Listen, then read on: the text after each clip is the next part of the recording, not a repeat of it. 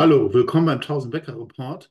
Heute mit dem Thema Goldaktien. Die Party hat gerade erst angefangen.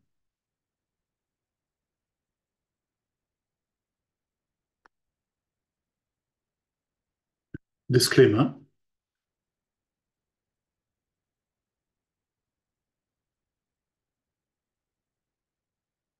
Goldaktien. Die Party hat gerade erst angefangen. Der Analyst äh, Stuart Thompson äh, sagt am 21. Mai äh, 24, das ist das atemberaubendste GDX Goldratio Chart. Mainstream-Analysten und sogar einige Goldbugs sind verwirrt von der Goldaktienrelle, die einfach nicht aufhören will. Aber dieses Diagramm deutet darauf hin, dass diese, äh, diese Party gerade äh, erst anfängt. Ja, äh, der Analyst äh, Stuart Thompson schreibt es, es ist one of the largest base patterns in the history of markets. Es ist also die größte, größte äh, oder längste Bodenbildungsprozess in der Geschichte der Märkte. Ja, da wissen Sie, warum das äh, Goldaktien äh, auf steigende Kurse, warum, warum das so schmerzhaft ist. Wir hatten zwar eine, ähm, sage ich mal, eine Schulterkopf-Schulterformation, das sind die, was wir sogenannte äh, äh, Mini-Bullenmärkte ähm, nennen, eben 2016 der Anstieg, äh, dann eben äh, nochmal während der Corona-Krise da, das Hoch, der Kopf und dann aktuell jetzt nochmal das Tief. Und das äh, äh, sollte jetzt nach seiner Meinung äh, zu einer extremen ähm, Goldaktienrallye im Vergleich zu Gold führen, die uns eigentlich auf die Höhen äh, von 2011 kriegt. Also das war eben das Hoch nach der Finanzkrise. Und das, äh, weil, und das ist meiner Meinung, äh, oder das ist einer der, der potenziell stärksten Goldaktienrallye aller Zeiten. Es setzt sich eben zusammen, es kommt eben zu diesem Riesenanstieg äh, aufgrund dieser Chartformation und dann gleichzeitig sind wir so extremst zertrümmert äh, von den Werten, insbesondere Junior-Goldaktien. Also das äh, da äh, können Sie einen der stärksten äh, Anstiege überhaupt erwarten, eben aufgrund dieses langen Bodenbildungsprozesses, was völlig unüblich ist. Äh, vermutlich haben da auch höhere Mächte sozusagen ihre Hand mit im Spiel. Das ist ganz extrem. Ähm, also das würde nach dieser dieser Chart, äh, nach diesen Charts bedeuten, wir haben das ganze Jahr 2024 jetzt Goldaktien Rallye und das setzt sich weit ins Jahr 2025 vor, ist möglich. Natürlich kann das dann zum Beispiel vom Börseneinbruch äh, unterbrochen worden sein. Ähm, aber vermutlich geht vielleicht dieser Börseneinbruch, kommt auch erst 2025 und äh, nimmt dann die Goldaktie noch etwas mit runter und dann würde nochmal die absolut finale Rallye starten, Goldaktien. Das ist allerdings Zukunftsmusik. Wir persönlich konzentrieren uns eigentlich auf den bevorstehenden Anstieg, weil der führt ja dazu, dass viele Penny-Gold-Aktien dann 10, 20, 30, 40, 50, in einigen wenigen Fällen vielleicht um das Hundertfache in dieser sehr starken Bewegung steigen. Also das ist meiner, Meinung nach eine absolut interessante Situation. Äh, diese äh, roten Kreise sind eben absolute Tiefs und wir befanden uns, äh, also diese, diese blauen Kreise, da sehen Sie eben nochmal das Finanzkrisentief hier von 2009, äh, und wir liegen ja fast 50 äh, Prozent unter der Finanzkrise. Die, wir, die, die, Depots gehen ja schon als Faktor 5 bis 10 hoch. Wenn wir überhaupt auf dem Tief der Finanzkrise sind, ist es absolut extrem, die Unterbewertung und deswegen eben auch das Potenzial. So sieht es dieser Statist, dem schließen wir uns an. Zumindest äh, äh, sagen wir eigentlich, dass eben diese enorme Eruption aufgrund dieser enormen Unterbewertung liegt vor uns. Meiner Meinung ist es wirklich schwer zu timen, aber irgendwann ist sie da und äh, ähm, man hat kaum genug Zeit, äh, sich daran dann noch zu beteiligen und günstig bei den Kursen reinzukommen. Also äh, bauen Sie weiter Ihr, Ihr Depot auf und warten Sie auf diese Rallye. Ein Verkaufspunkt ist dann vielleicht ein Teil gegen Ende des Jahres oder tatsächlich erst auch 2025. Das muss man sehen. Jedenfalls äh, charttechnisch sind wir sehr gut unterstützt hier, was Goldaktien betrifft. Wie gesagt, das ganze Chart, wenn das noch nicht kennt, hier werden eben die Goldaktien mit Gold äh, äh, in Korrelation gegeben. Und äh, es ist eben, eben nicht nur so, für die, die das noch nicht kennen, Goldaktien, Gold wegen sich eben nicht gleich. Mal sind Goldaktien extremst unterbewertet zu Gold und mal extremst überbewertet. Man kann das vielleicht vergleichen.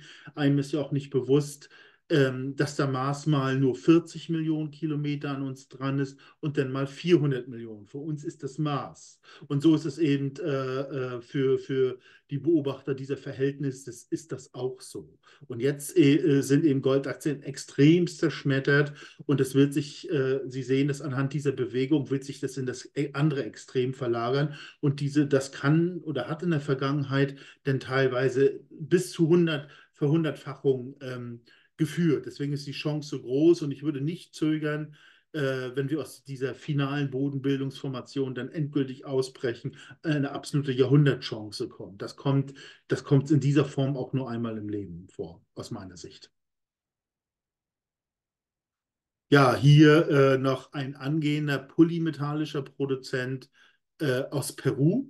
Das Unternehmen hat sich zum Ziel gesetzt, der nächste größte äh, mittelgroße Produzent von Edelmetallen, Basismetallen in Peru zu werden. Das Unternehmen konzentriert sich auf die Erschließung seiner zu 100% unternehmenseigenen Anlage, der Bergbaukonzession El Metallurgista die Überprüfung historischer Daten hat ergeben, dass die Abraumkalten von Quirilocca 460 Millionen Unzen Silberäquivalent erhalten, verteilt auf Zink, äh, Silber, Zink, Kupfer, Blei und Gold. Also Silberäquivalent fasst sozusagen alle Metalle zusammen und das wird dann, sage ich mal, als Äquivalent bezeichnen. Sie sehen ähm, hier die prozentuale äh, Verteilung. Äh, Sie sehen, die haben von diesen Metallen sind insgesamt also 25 Prozent äh, Silber, 12 äh, Prozent Gold, äh, dann äh, Zink 29 Prozent, Blei und Kupfer 20 Prozent. Ähm, also wie gesagt, das polymetallisch, ist sozusagen Nebenprodukt, aber es ist eine gigantische Dimension. Ähm, und da gab es eben jetzt auch kürzlich äh, grünes Licht von der Regierung, äh, dass da fortgefahren werden könnte. Also das könnte eine schöne Comeback-Story werden, jetzt im Rahmen der, des anlaufenden Edelmetall- und Rohstoff-Bullenmarkt. Das Ganze hat eine Mark Marktkapitalisierung von ca. 50 Millionen, äh, eine riesige Menge an äh, Metallen, äh, die jetzt im Rahmen des Rohstoffbooms äh, gebraucht werden können. Und ähm, ja, ich denke einfach mal ein interessantes Unternehmen sich anzusehen. Klar, Peru, äh, äh, ganz Südamerika ist ein Thema, aber trotzdem gibt es äh, auch eben in Südamerika, insbesondere auch in Peru, viele äh, effizient und äh, profitabel ähm, produzierende Unternehmen oder explorierende Unternehmen. Also auf alle Fälle mal einen Blick wert. Wie immer an der Stelle natürlich keine Kaufempfehlung. Ja, nochmal generell zu Gold. Äh, Gold muss jetzt nicht nur auf 2500 oder 3000 steigen, sondern es kann auch in einem Satz hochgehen auf 8500 Dollar. Warum sagen wir das? Weil das während des letzten Goldbullenmarktes in den 1970er Jahren passiert ist. Nach der Korrektur stieg ein Gold in nur einem einzigen Jahr von 200 Dollar auf 850 Dollar. Das löste damals diese unglaubliche Goldaktienrallye aus. Hier stiegen eben Aktien um das 100, 200, 300-fache. Das heißt, aus 1000 Dollar konnte man eine Viertelmillion ungefähr machen, teilweise. Äh, und das nicht nur ein oder zweimal, sondern eine ganze Reihe von Aktien haben diese Resultate geliefert. Eine absolut interessante Situation.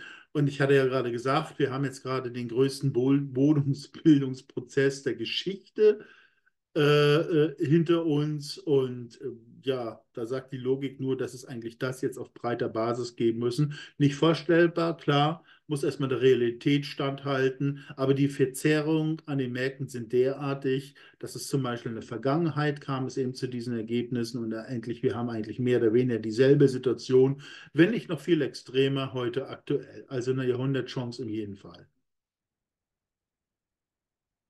ja, im 1000-Becker-Report. Wir versuchen, diese Aktien zu identifizieren, nach verschiedenen Risikostufen zu sortieren, ähm, Potenzialfaktor zu errechnen. Der setzt sich zusammen aus Grad des Goldes, Anzahl der Unzen, Länderrisiko, äh, Marktkapitalisierung. Also um das Wievielfache kann sich eine Aktie äh, äh, äh, verdoppeln oder, oder, oder ver-x-fachen, äh, wenn eben dieser, Gold, dieser, dieser Goldaktien-Move vorbei ist, sozusagen, eine Abschätzung. Weitere Informationen zum Report finden Sie äh, unten in der YouTube-Beschreibung. Ja, ganz herzlichen Dank für die Aufmerksamkeit. Ich würde Sie bitten, meinen Kanal äh, zu abonnieren, wenn Ihnen das Thema gefallen hat. Vielleicht auch ein Like drücken. Das würde den ganzen äh, Algorithmus YouTube voranbringen. Nur vielen Dank und bis zum nächsten Mal.